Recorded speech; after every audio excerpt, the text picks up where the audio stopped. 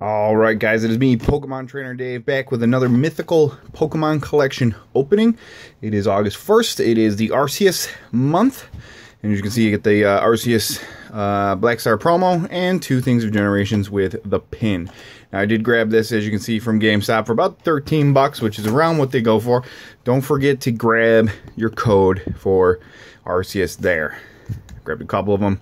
Uh, but that's free. This is not.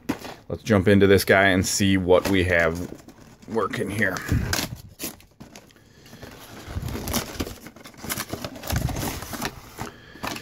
So, standard box.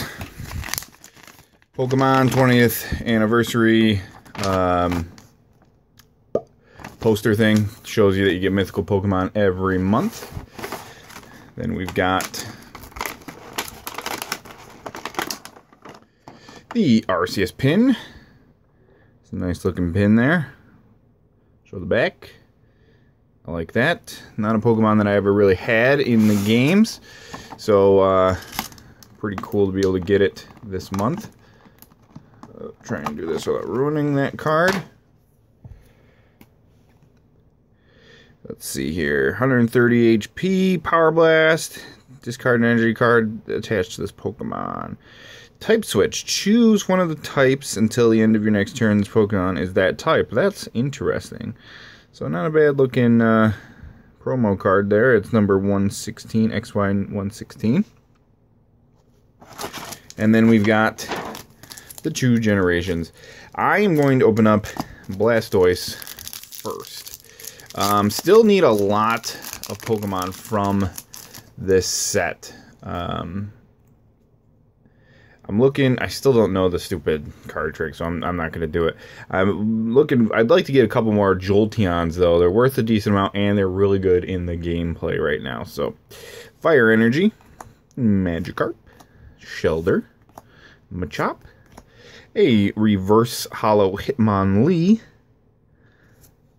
The first Radiant Collection is Froslass Holo. hollow. Well, I guess they're all kind of hollow, but Ooh, Charizard EX. That is a nice one to pull. And I don't, I'm not sure if I have him. If I do, this one will end up being a um, card that I use to play.